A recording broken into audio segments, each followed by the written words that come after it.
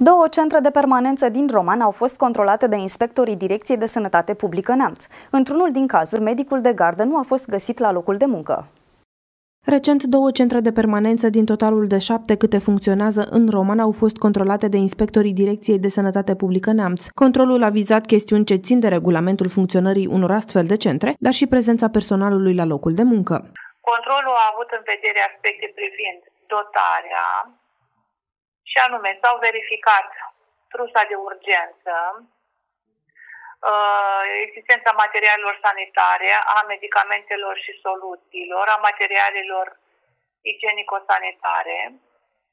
De asemenea, s-au verificat uh, uh, dotarea cu mobilier, aparatură, echipamentele de resuscitare respiratorie, precum și existența aparaturii de monitorizare, evaluare.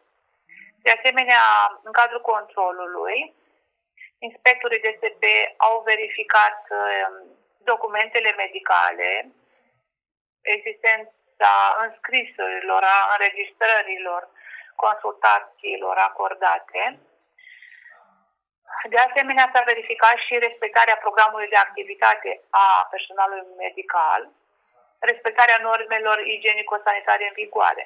În urma controalelor, inspectorii au depistat două nereguli pentru care au aplicat și sancțiuni. La unul din, uh, dintre cele două centre de permanență controlate, medicul de gardă nu a fost găsit la program Uh, conform graficului de lucru a personalului, care este avizat lunar de către DSP. La același centru nu se respectau normele Ordinului Ministerului Sănătății 1226 din 2012 privind gestionarea deșeurilor rezultate din activitățile medicale. Din acest motiv s-a aplicat amendă contravențională conform Ordinului Ministerului Sănătății 857 din 2011, medicului coordonator. Reprezentanții Direcției de Sănătate Publică Neamț au mai precizat că aceste controle s-au făcut în mod aleatoriu și inopinat, ele nefiind efectuate în urma unor reclamații.